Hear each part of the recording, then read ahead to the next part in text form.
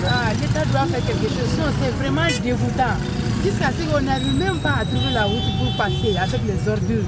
Non, ça c'est décevant hein, dans la capitale comme ça. Bon, il y a des fois aux autorités, mais il y a un peu aussi à la population. Parce que vu les choses comme ça, vraiment, moi je ne peux pas comprendre que la population essaye de voir les choses en. Mais il ne veut pas ça. Est-ce que tu vois? Et il laisse toutes les choses pour, la, les autorités seulement.